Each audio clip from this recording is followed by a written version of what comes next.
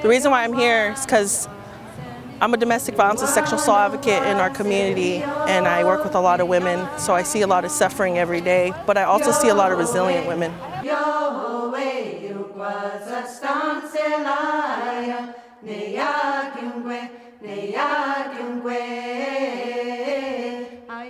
I believe I believe we can overcome a lot we have already and this is why I'm here is continue to empower our women and our children.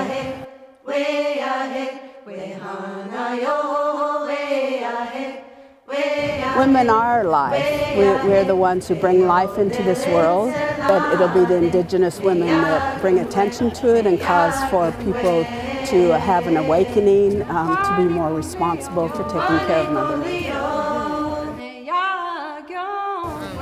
As Indigenous women, we wanted to come out here today and support all of our women, not only our Indigenous women, but all of our women, because um, we're all in this fight together. We want to bring that connection of how we treat Mother Earth, of how we treat our women and how we respect them. And so we're out here representing for all women today.